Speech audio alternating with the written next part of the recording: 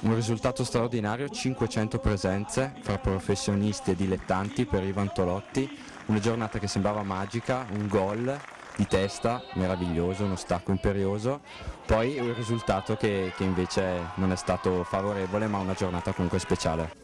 È una giornata da ricordare per la festa iniziale e per il gol. Peccato che poi siamo ritornati alla realtà della partita. Sembra troppo bello per essere vero andare in vantaggio con un mio gol in questa ricorrenza e invece dopo la partita è andata in tutt'altro modo e questa sconfitta diciamo che rovina un po' la festa. Ecco. Una carriera da incorniciare come abbiamo detto e 500 presenze distribuite fra tante squadre, ricordiamo Ospitaletto, Varese, Rodengo, tante altre, Ivrea e um, quindi una giornata del ricordo, però anche ancora qualche sogno nel cassetto per il futuro? Diciamo di continuare a giocare il più possibile, possibilmente in una società come la dell'Ese che con questo riconoscimento ha dimostrato diciamo così, di credere in me e io non posso fare altro che ringraziarla.